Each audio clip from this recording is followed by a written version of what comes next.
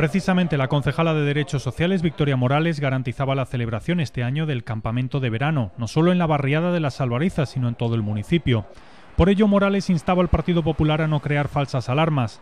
Sobre las actividades en esta barriada, la concejala recordaba que desde la delegación se mantiene abierta una línea de trabajo permanente con vecinos y asociaciones a través de encuentros de los que también se hace partícipes a Policía Nacional y Gobierno andaluz. La última de estas reuniones, afirma Morales, se produjo el pasado 16 de marzo y en ella se solicitó a la Junta una mayor celeridad para atender las necesidades de los vecinos de los bloques, competencia del Ejecutivo Autonómico.